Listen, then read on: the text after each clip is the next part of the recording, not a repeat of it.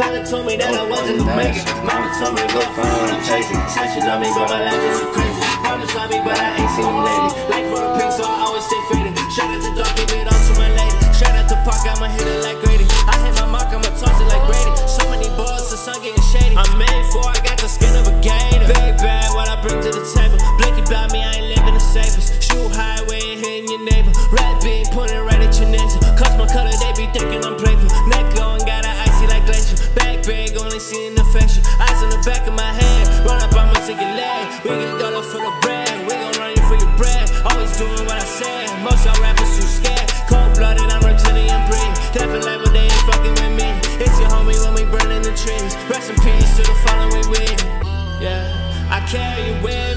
Life getting too risky. Dark lick out your whiskey. Pouring pain, I don't feel it. Let loose in the 10 speed. Count 10, 20s, 50s. Rubber band on the benches. Run it back, get the money. Gator. Y'all faking, you really some haters. Roll up a blunt before I start my daily. Back to back, I'm smoking my face. Racks and racks, I'm counting my paper. Black and black when I'm whipping the saber. Never lack, I ain't the safest. Father told me that I wasn't gonna make it. Mama told me to go find what I'm chasing. Said she love me, but my life is too crazy. Brothers love me, but I ain't seen them lately. Life for the pink, so I always stay faded. Shout out the dark, give it on to my lady. Shout out the park, I'ma. That's that shit, bro. That's that shit, I'm telling you. That's the music I resonate with. That's the type of music I resonate with. Alright, it's Scooby's High Life here on High Life Interviews. We're here with my dog Boschi, straight out of New York, rising star. Let's get straight to it. Alright. Tell us about yourself. Where you from? Um, I'm from New York, born and raised. Uh, little small town called Dunkirk. Um, if you ever been to Buffalo, uh, shout out to the city. We south of there, about an hour. Um, you know, we it's, it's, it's it is what it is. You know what I'm saying? I ain't gonna say too much about my city. I love my city. It made me. You feel me? But um, I'm just I'm just like as a myself as an artist, I'm just trying to make it, bro. Like really just like anybody else, but not like anybody else. I ain't trying to do it like everybody else. You feel me? Yeah, yeah. Gotta be different. I mean, um, is, who are your biggest artistic influences? Well, when I first started listening to music, bro, I'm not gonna lie, I would listen to Weezy all the time, bro. I love Lil Wayne. That's a go to me. But um my biggest influence really is the people I started making music with.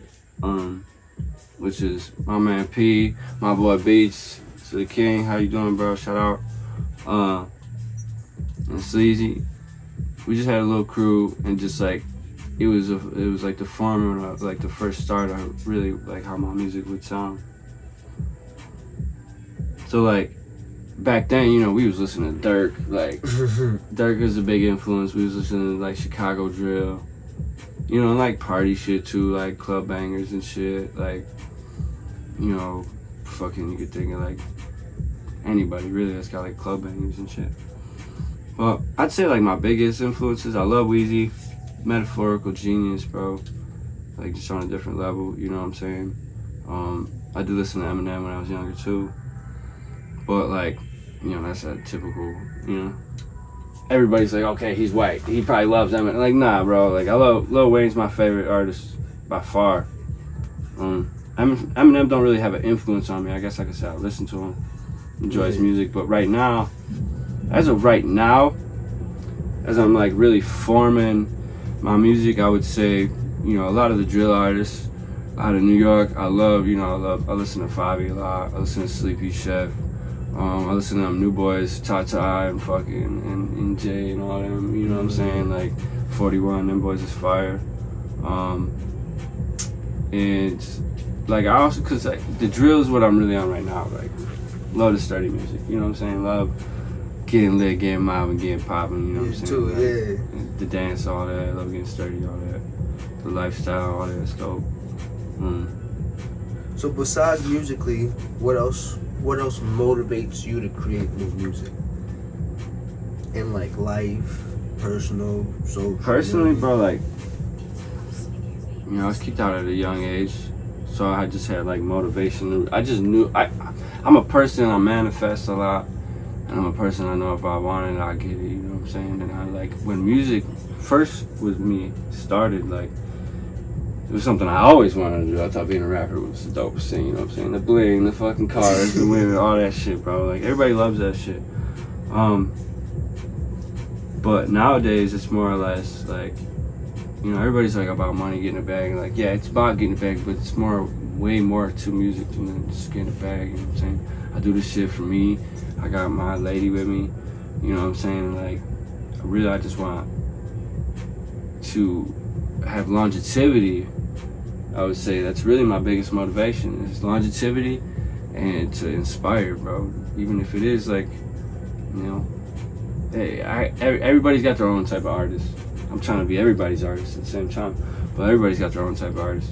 Yeah. But really, my biggest motivation is, you know, to take care of myself, my lady, my my future life, be stable, and really to inspire people that like anybody could do that shit. You know what I'm saying? Like anybody, anybody can step out there, uh, outside their own comfort zone, and really make life shake before they leave this earth. You feel me? Like that's really what it is. So that kind of brings me on to my next question on what would you define success as an artist?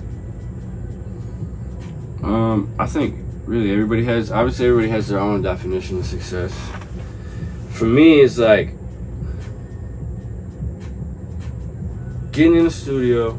Well, first, like you know, finding the right beat, making that recording, and like really having the best like outcome that you see and that you think is successful. Like that's really my like the work with that. And then everything comes after that, you know. Doing the video, the same thing, putting in the work to get that. Then from that video, getting results. And when you get them results, then you're like, all right, yeah, I just put in all that work. And to me, that's successful for myself. You know what like I'm saying? finished product. A finished product is really success to me because you know, there's a lot, there's a lot of levels to it, bro. Like as far as succession, like you can be successful doing that and then keep, and elevate as you're doing that. Keep doing it, and when that works, like, and you finally see the results, you know, after that succession, now you got even more success coming to you, and you know what I'm saying. You're living blessed. You you're living blessed. You know, you're getting your new house, you're getting your new crib, uh, uh, your new whip, and you're getting you're taking care of your family, you're starting a family, like and all your music does that for you. To me, that's like the biggest success. Is, is to be able to like be like I said, be stable. So from my career, make this a career. To really push this forward and make this a career and be that would be my success.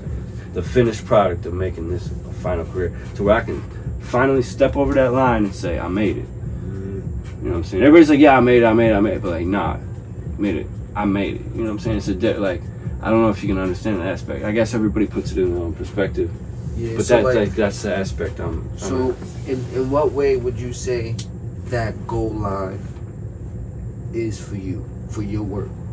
Okay, so, so, so everybody's like, oh, a million views, a million this, a million that. Okay, so like, yeah, okay, it's a race to the million. Everybody's on a race to the million. The views, the money, the fucking everything, the million followers. Like, everybody wants that, bro. But like, I don't really think it's that. I think it's more or less, like I said, just the fucking stability to be able to do that. Yeah, I like that that that idea of longevity. Longevity is right. Mm-hmm. Like I want to be able, like to be able to inspire even when I'm gone, bro. If I leave tomorrow, if I leave this planet tomorrow, you know what I'm saying? So you know what I'm saying? So like, I guess when you say the line, bro, because like I said, everybody wants that million and shit, million and shit. Like like I said, it's stability. When I know myself, I'm stable enough. I don't care. I'm not talking five houses and ten cars and this and that. Just knowing like I never gotta worry again. Mm, that uh, financial freedom. It is financial, but it's like life freedom, bro. Mm, okay. Okay, so like so to we just drop everything. Just be like, let's go, let's go do this. Like nobody's gonna tell me no. You feel me? I don't live a life with limitations. I hate limitations because I don't see limitations. Guys Even after we pass this life, you feel me? I don't see limitations. That's why me? like transcending a, a sense of time. Transcending time. Mm-hmm. All right, so uh, how has your style changed over time? Okay, so like I said, we was listening to a lot of like Chicago drill, so I was really on like trap drill vibes for a while. Then once I listened, learned how to use my voice. Excuse me. I learned how to use my voice and sing a little bit more, and you know, put patterns together and hit pockets and put words where they belong and verses where they belong and rhymes and bars and all that. I think my flow, not like I found it, like I just, but it's from multiple angles. Yeah. You feel me? So it's like from all the years doing different shit. So I started with the drill shit, and I started with, you know, getting the melodic shit. You know, now now now I, I was I fucking in a mix of both, and I got into like the New York New York uh, style with the drill shit. So it's like it's a mix of really everything. Cause like when I with this drill shit, bro, I don't think I do it the same as everybody else. You feel me? I think I do it a little bit different. Cause I like I I, I feed off other people's energy and shit from that shit. When I'm listening to music, I'm like, yeah, okay, yeah. Not this is how I should sound, but like this is like the attitude, the presence, the fucking everything I should put behind the mic. How these, not how these, Direction not how they're acting, how they really are living that behind that mic.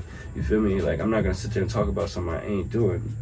You know what I'm saying? And like, so I guess it was, it's a matter of altogether like every single angle. My flows changed a lot, bro. From drill to trap to melodic shit to fucking, you know, New York drill because it's way different than Chiraq shit. You know what I'm saying? Chicago. Yeah. So like, I guess, I guess it's pretty much yeah. Like I said, every angle. I try to be diverse and be able to because I, I feel like I could even do a country song type shit, bro. Like, Nowadays, variety is important.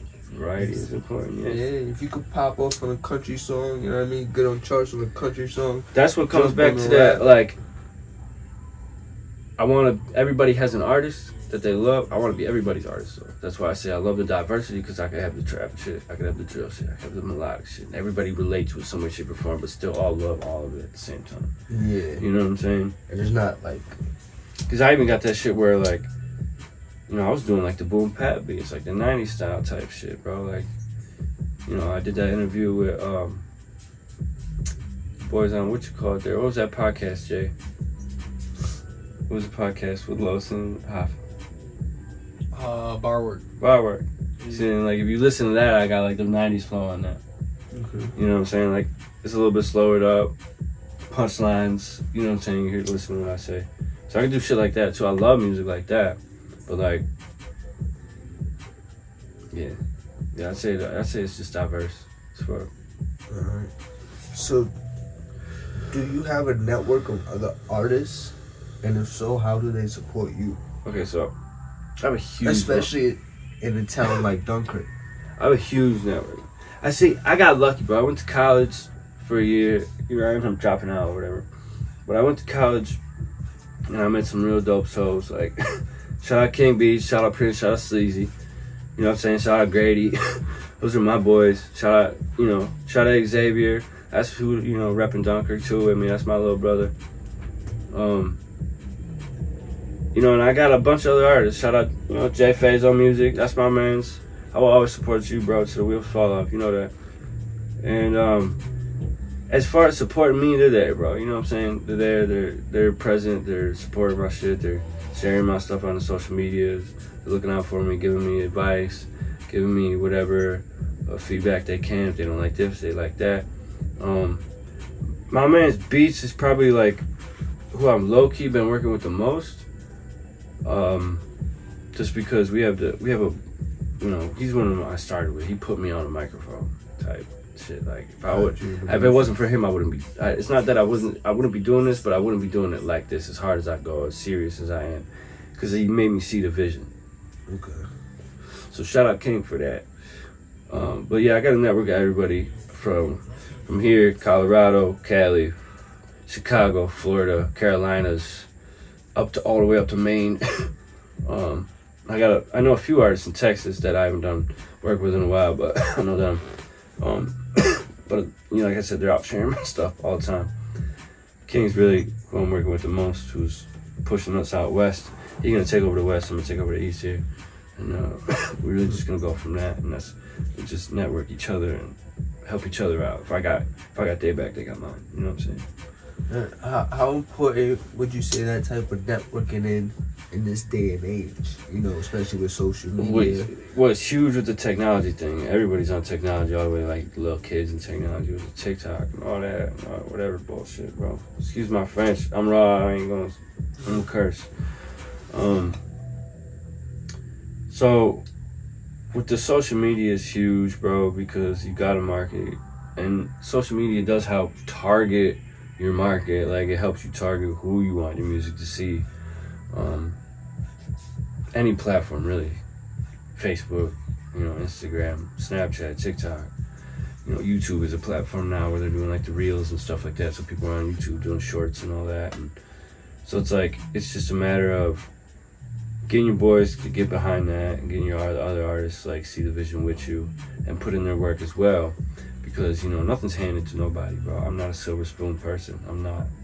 I didn't grow up like that. You know what I'm saying? So I earned everything I got, and I just try to put everybody else on blueprints that will help them. So, like I said, if they got my back, I got theirs. So if there's with social media, if they're if I got somebody in Colorado, like I said, shout out King, Colorado pushing my shit out west. I got somebody in Florida pushing my shit, which one of my big bros. You know what I'm saying? I got somebody in Carolinas pushing my stuff. I got Chicago pushing my stuff. I got Maine pushing my stuff, and then I'm in New York myself with my local and this and that. And I got ties all the way out to Italy too, bro. Like through artist connections, just randomly talking. Like I wanted it, so I went out and got it. You know, I pushed, and I, and I found artists that would, you know, if I was to go to Italy right now, they'd probably show me the, the you know, the real Italy. You know what I'm saying? The real, the real Goombas. You know what I'm saying? Real, real shit, bro. Real street, real streets. Like, you know what I'm saying? Out there getting it, and like places you can't go, places like other people can't go, like that wouldn't get that type of permission. Like I don't like to gas myself up, bro. Just like I know people, I got connections everywhere. You know what I'm saying? So it's like, like I said, if I'm getting my shit overseas too, in the UK and Italy and freaking Ireland, I don't give a fuck. Spain, bro, like all the way to down in fucking Central America, South America, like I want it all. Even if it's one person here, one person there, that could make a difference. And then when I go and I push my music out, I push in those areas around those same people that are seeing. You know what I'm saying? Like, so that networking is huge. It's huge. It's huge. It's huge. A lot of artists think, okay, I need the local. I need everybody in local to love me. No, don't be local. Think global, bro. I'm not a local artist. I love being a local artist. I loved it. I was that for a long time. I'm 10 years deep in this. But global is what you need to think, because global is where you're gonna get the sound of people that are strangers that don't know you. You know what I'm saying? That are gonna judge you by your music. Like I said, I wouldn't put nothing behind the mic that I'm not living. You feel me?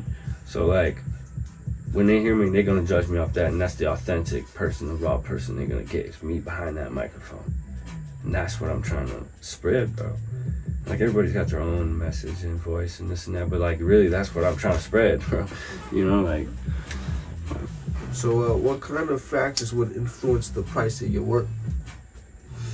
So like right now, I'm obviously I should charge, bro. Like I said, I'm ten years deep. I'm not no rookie. I'm a vet from what the work I've put in and the straps I've earned.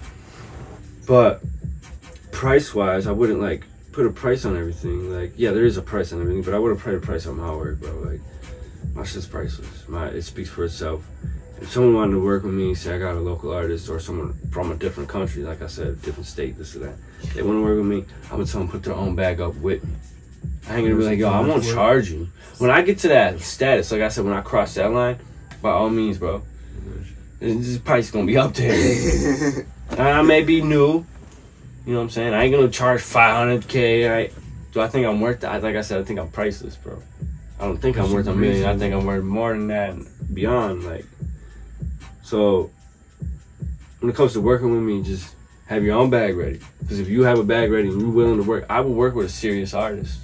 Anybody. Like, I, I got this, got this little tape coming up. I'm putting a little tape together, you know what I'm saying? And I got local artists on there. And I want that because I want them to have something they can spread around and shit too. And something they can fuck with. And like, okay, yeah, we work hard on this. But if they want to go out their way and be like, all right, let's do a video, get that bag ready, bro.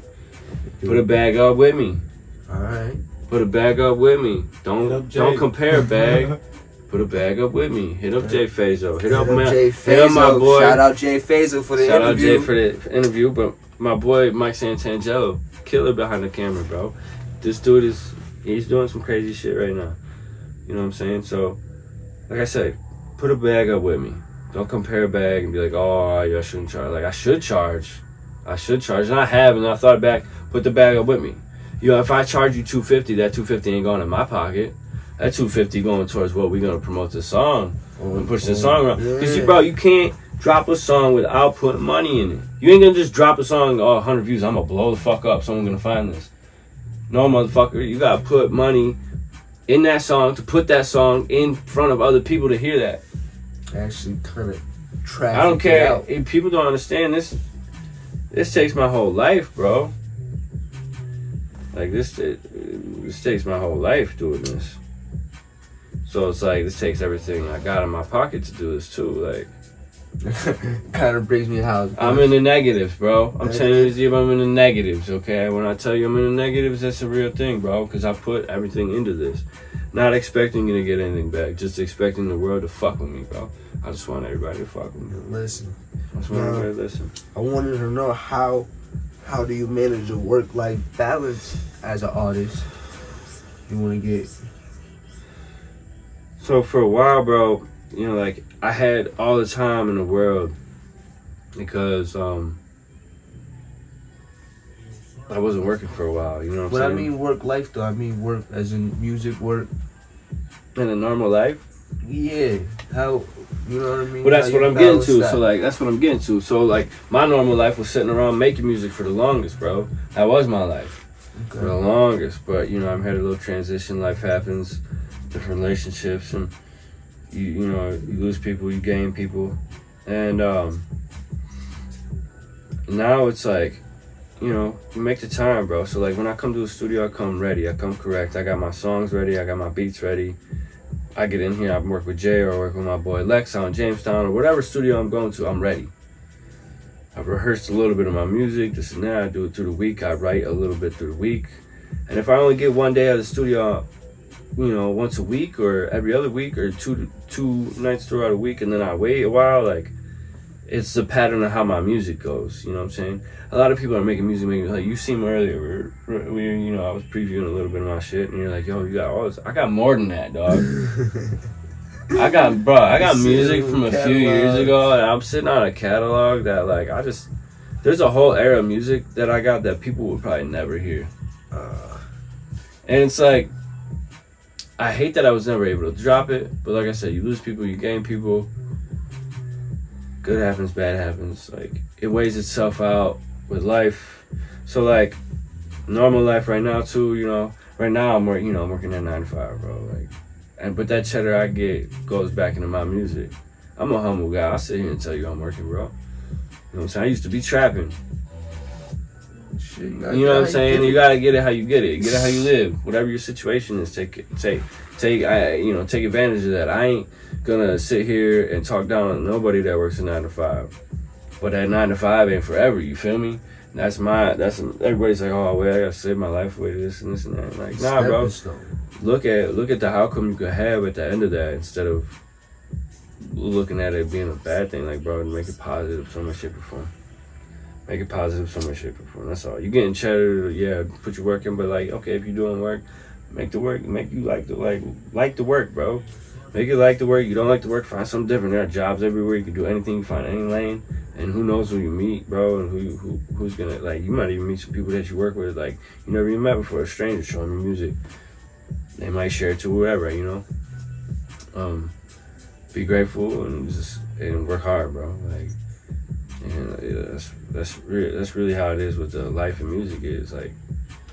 You know, I'm humble to still have a normal life, but I'm grateful to be able to do what I love, which is music. So like the balance that's tough, cause like I said, relationships and normal life like does hit you, bro. Like especially when you ain't no artist that's making millions yet. Like you really do got to put in the extra work, and it's like I said, I'm ten years deep. I ain't this ain't no this ain't no rookie shit, bro. You know what I'm saying? This is shit I've been doing for a long time, long time. That's good. So before we end it off, um, You got anything new you about to drop? Any anything coming out? Any So, I do have a tape. I'm working on a tape right now. Uh, what's the name? You got a name for it? yeah, yeah. I'm finna call it starting music, bro. Hashtag starting music. Hashtag sturdy. You feel me? Music. So- heard that here first. You That's all for the for the New Yorkers. That's all for the New Yorkers. I want to get it popping this summer, as popping as I can get it. I want y'all slamming my music. I got a lot of local artists, bro. Jay gonna hop on there. I got fucking, I got X too much. I'm gonna have the Shotter Boys. You feel me? I'm gonna have Jay Mizai. I'm gonna have King Rob. That's my mother- OG King. How you doing, bro? You know what I'm saying? It's gonna be a good tape. A lot of diversification. It's all drill beats, bro. All Jersey style drill beats and New York style drill beats.